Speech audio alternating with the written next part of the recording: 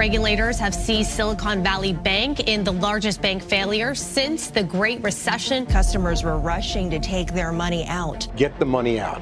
2008 का financial crisis तो आप सबको याद होगा ऐसा ही कुछ वापस हुआ है यूएसए में 2008 के बाद का ये सबसे बड़ा बैंकिंग फेलियर है सिलिकॉन वैली बैंक जो वर्ल्ड का एक फ़ेमस बैंक है स्पेशली स्टार्टअप्स में, वो पूरी तरह डूब चुका है।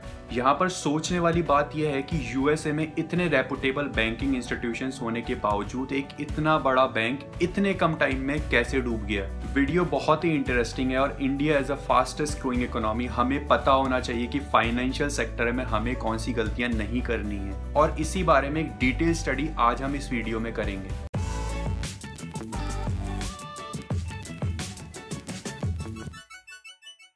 चैप्टर वन वॉट हैपन जब भी आप सिलिकॉन वैली का नाम सुनते हैं तो आपके दिमाग में टेक जाइंट जैसे गूगल माइक्रोसॉफ्ट एप्पल मेटा इनका नाम आता होगा। ऐसी ही बड़ी कंपनीज़ का हब है Silicon Valley Silicon Valley Bank जो कि बड़ी टेक कंपनीज़ और स्पेशली स्टार्टअप्स के लिए फाइनेंशियल सपोर्ट का काम किया करता था। साथ ही साथ ये कंपनीज़ अपने प्रॉफिट और रेवेन्यूज को इस बैंक में जमा किया करती थी। ये बैंक 10 मार्च 2023 को पूरी तरह डूब चुका है और एक्सपर्ट्स की माने तो 2008 के फाइनेंशियल क्राइसिस के बाद का ये सबसे बड़ा बैंकिंग फेलियर है। इस बैंक में कस्टमर्स के 175 बिलियन डॉलर्स जमा थे। इस पैसे का क्या होगा, अभी के लिए कुछ नहीं पता, मगर इमीडिएट इफ़ेक्ट से बैंक को बंद कर दिया गया है और एफडीआईसी ने इसका कंट्रोल अपने हाथ में ले लिया है। Chapter two why it happened run on the bank एक ऐसी टर्म जो कोई भी बैंक नहीं सुनना चाहता। जब एक साथ बहुत सारे कस्टमर्स अपना पैसा बैंक निकलवाने पहुँच जाते हैं, उसे कहते हैं बैंक रन और यही कारण बना सिलिकॉन वैली बैंक के फेल होने का। बैंकिंग सिस्टम जो कि चलता है कैश और कॉन्फिडेंस पर। और इसमें ज़रा सा भी वैक्यूम बना then game is already over और यही हुआ एसवीबी के साथ। 2022 के एंड तक एस ने 117 बिलियन डॉलर्स के सिक्योरिटी बॉन्ड्स खरीद रखे थे। इन सिक्योरिटी बॉन्ड्स पर एस को एक फिक्स रेट पर इंटरेस्ट मिलता था और ये इंटरेस्ट रेट फिक्स हुआ जब ये बॉन्ड्स खरीदे गए। अगर आसान भाषा में बोलें तो आज अगर आप एक एफडी करवाते हैं अगले पाँच साल के लिए, चार परसेंट की इंटरेस्ट रेट पर तो एफ़ डी होने पर आपको इसी रेट पर इंटरेस्ट मिलेगा। चाहे इस दौरान बैंक अपने रेट ऑफ़ इंटरेस्ट बढ़ा दे। सिलिकॉन वैली बैंक के पास ऐसे 91 बिलियन डॉलर के सिक्योरिटी बॉन्ड्स थे।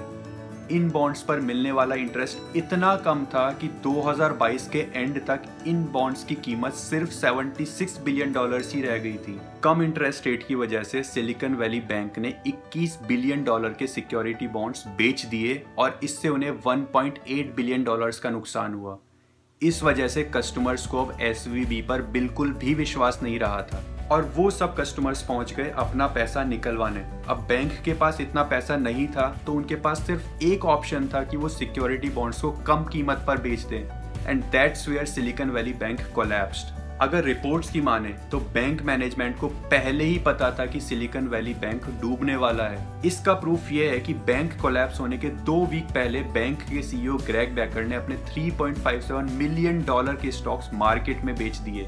Chapter three what's next bank बंद होने के बाद एफडीआईसी ने इसका कंट्रोल ले लिया है। इससे डिपोजिटर्स को ढाई लाख डॉलर तक का इंश्योरेंस मिलेगा।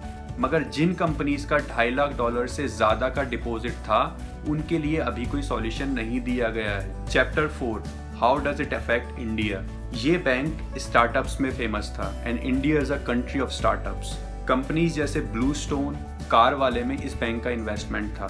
इनडायरेक्टली इंडिया के 19 स्टार्टअप्स में इस बैंक ने इन्वेस्टमेंट कर रखा है। तो कहीं ना कहीं इंडिया पर भी सिलिकॉन वैली बैंक के कोलैप्स का फ़र्क पड़ेगा।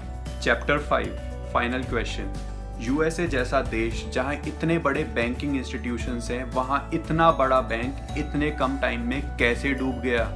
That is a question to be asked आप क्या सोचते हैं इस बारे में कमेंट सेक्शन में ज़रूर बताइए। अगर इस वीडियो से आपको कुछ नया सीखने को मिला है तो प्लीज़ इसे लाइक करें और प्लीज़ मेरे चैनल को सब्सक्राइब करें। तो मिलते हैं अगले वीडियो में, तब तक के लिए बाय